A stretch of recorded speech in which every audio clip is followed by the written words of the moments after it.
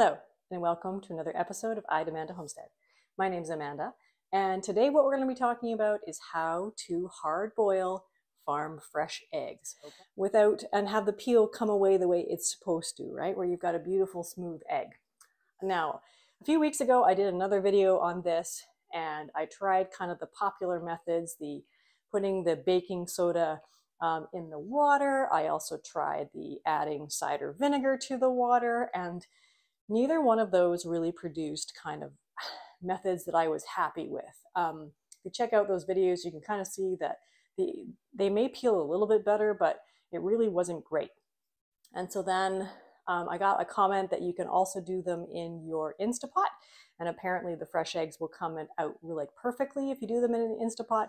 So um, what I found instead that worked really, really well is steaming your eggs. I was blown away how well this works. All right, let's get started. So the cool part is the equipment that we're going to need for this is really, really minimal. So you're going to need a pot that has a tight sealing lid, okay, because that's going to hold the steam in and that's what that's important.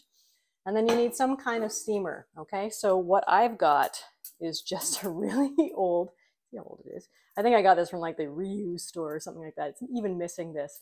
Just a little kind of um, you can get like a little steamer basket. You can, you know, have a bamboo steamer, something fancy. Um, you can even put like a small little plate in there if you're just doing a few eggs, but just something to kind of put in the bottom of your pot that will allow the steam to come up and around the eggs and steam them without them being in contact with the water. Okay. So what we have here is one of the most difficult eggs to hard boil, which are eggs that I just kind of collected today. So we are going to hard boil these, we're going to steam them, and we're going to see how well they peel.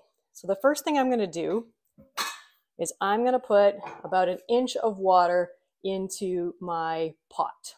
Okay, and then I'm going to put my steamer in. We want to have about an inch of water because we are going to steam these for about 20 minutes. And then I'm going to put the fresh eggs that I want to steam in a single layer inside this little steamer basket. We put the lid on the pot, making sure that it closes. And then we're going to turn our gas on high just until it comes to a boil. Okay, so it's been a few minutes. And you can see that our pot is clearly boiling. I'm going to put that lid back on there. And then all you're going to do at that point is turn the heat down to about kind of where you know it's going to keep boiling with the lid on. And then I'm going to set the timer for 20 minutes. I'm turning the heat off. Okay, so now what I'm going to do is I'm actually going to fish out these eggs and put them in a bowl of cold water. Okay, so just fish them out. You could have ice water too if you wanted, but you don't need to. Okay, and then what we'll do is we'll just let those cool off and then I will take them out of the water and put them in the fridge overnight. All right, so here are our beautiful hard-boiled eggs. And now for the real test. We're going to crack and peel a couple of them.